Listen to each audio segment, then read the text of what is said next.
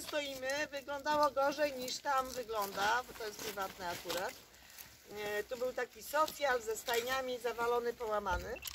I w 15 roku, na samym początku kadencji, zaczęłam sprawy spadkowe robić, żeby ujednolicić tę własność, bo było, należało do kilku osób nieżyjących i fragmencik do gminy. I tak chyba za 4 lata te sprawy się turlały i po co ty to robisz? A po to, że kiedyś będzie remont tak zwanej astronomii i będzie potrzebne miejsce na parking. Eee, dosłownie po przejęciu ostatniej jednej szesnastej okazało się, że uniwersytet robi ten remont, ale nie dostanie pozwolenia na budowę, jeżeli nie będzie miał miejsca na parking poza terenem zabytkowym, czyli poza terenem parku. I tak to wtedy na sesję przyjechała ówczesna pani prorektor Niemiec, e, a że większości nie miałam, więc ważyły się o włos losy, czy tu parking będzie, czy też będzie stała gustowna gminna ruina. E, o czym to jest opowieść? No o tym, że warto marzyć, warto zasuwać i warto pilnować spraw. I ostatnia, ostatni problem, jaki się pojawił, kiedy to powiat wołowski odmówił stanowczo remontu 700 metrów drogi przez Groble, gdzie jest strzałka żebiałków, jak tutaj dojechać. No i wtedy się zaczęło. I to spełnione marzenie, choć droga wygląda licho, ale wcale nie ma być autostradą, bo mają tutaj ciężarówki nie jeździć. E, Ma być tutaj taki ruch właśnie głównie skupiony na Centrum Edukacji Astronomicznej, otwarcie oficjalne na wiosnę, dziś zwiedzimy w środku, e, żeby się dało tutaj dojechać. Żadnych wskaźników to nie trzymało, bo mieszkańców czterech, nie?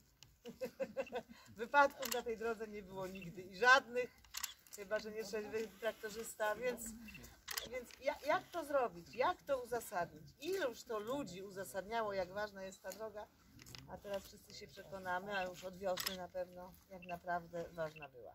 Za to chciałam bardzo serdecznie dzisiaj obecnemu tu posłowi, a wówczas wojewodzie Pawłowi Heniakowi podziękować. E, Może nie w imieniu Uniwersytetu, bo to powinien zrobić sam, ale na pewno w imieniu gminy Wińsko, dla której Białków to centrum jest rzeczą bardzo ważną. To miejsce, do którego na pewno będą przyjeżdżać ludzie z Polski i ze świata. Jest to miejsce, z którym będzie nasza gmina identyfikowana. Kiedyś mówiłam, że dla mnie to więcej niż fabryka. No nie płacą takich podatków jak fabryka i nie będą nigdy płacić, ale tak unikalne miejsce, jak na mapie Polski i na mapie Europy, jak Centrum Edukacji Astronomicznej w Białkowie, mamy tylko my.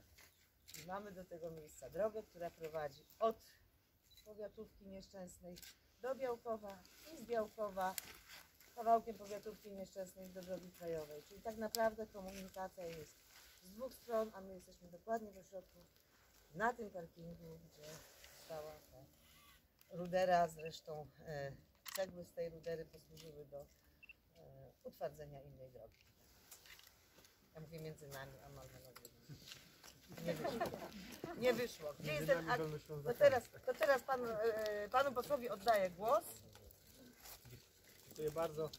E, e, Panie Wójt, Szanowni e, Radni, e, kilka lat temu, jak słyszałem, Pani Wójt razem z władzami gminy, z radnymi ustaliła, że priorytetem będzie naprawa dróg gminnych w gminie Wińsko.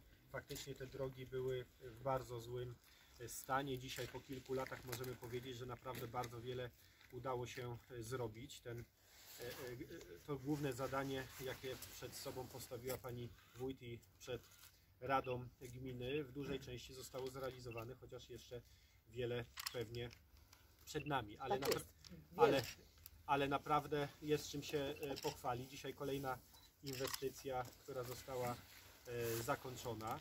E, Inwestycja, która nie tylko łączy e, miejscowości, ale e, prowadzi do niezwykłego miejsca, Centrum Edukacji Astronomicznej. Cieszę się, że to centrum jest prowadzone przez Uniwersytet Wrocławski, moją macierzystą uczelnią, więc moja ulubiona gmina współpracuje z moją macierzystą uczelnią. To jest dobry sygnał, cieszę się z tego i, no i to jest takie miejsce, które pewnie spowoduje, że o będzie dużo głośniej, nie tylko z racji tego, że potraficie remontować drogi, ale również z tego, że macie Centrum Edukacji Astronomicznej, takie wyjątkowe miejsce właśnie w tej gminie. Być może spowoduje to, to że i mieszkańców napłynie trochę e, więcej. Jak są dobre drogi i urokliwe miejsca, to i mieszkańców pewnie będzie więcej. Jeszcze raz wszystkim bardzo serdecznie e, gratuluję. Cieszę się e, z tej współpracy, która była, która mam nadzieję, że nadal będzie pomiędzy posłem a e, e, panią wójt i władzami gminy. Bardzo Tym serdecznie razem jeszcze raz nadzieja po dziękuję. naszej stronie. Ja sobie tylko przypominam, jak wykonawca, generalny wykonawca tej adaptacji, przebudowy, remontu Białkowa przyjechał, mówi, ja panu pokażę takie dwie polne drogi, którymi mogą jeździć ciężarówki, bo tutaj się przewracają, nie dadzą e, rady. No więc on przyjechał takim samochodem, jak byśmy sprzedali wszystkie tutaj znajdujące się, to byśmy sobie taki kupili. E, I taki przerażony jechał tą drogą, którą ja byłam dumna, że wyrównałam, utwardziłam specjalnie tu tego, żeby tylko te łuki dały radę. Jak wyjechał stąd, powiedział, skąd na tej wiosce takie coś? Miał na myśli Białków. Chodzi o to, żeby każdy, kto przyjedzie do Białkowa powie, skąd na tej wiosce takie coś? No. Z pasji. E, Z pasji najpierw szaleńca, potem nas wszystkich związanych ze sprawą. Panie pośle, bardzo serdecznie dziękujemy, bo to nie sztuka prosić, tak? Trzeba umieć też podziękować. To są same produkty lokalne. Bardzo dziękuję. Same produkty lokalne są. Miód jest Dziękuję bardzo. środek dezynfekujący, Super. będę lokalnie. zdrowy. Dziękuję bardzo. No. Aha, to tak. Można myć ręce, ale szkoda. Bardzo dziękuję. Dziękuję bardzo. Dobrze. No, tak. Jest aniołek. Jest. Dobrze, no to teraz Tylko problem w tym, że jadę do Sejmu teraz. To nie wiem co, ale dobrze. e, Damy radę. samochód nie zepsuje Nie chodzi mi o ten środek.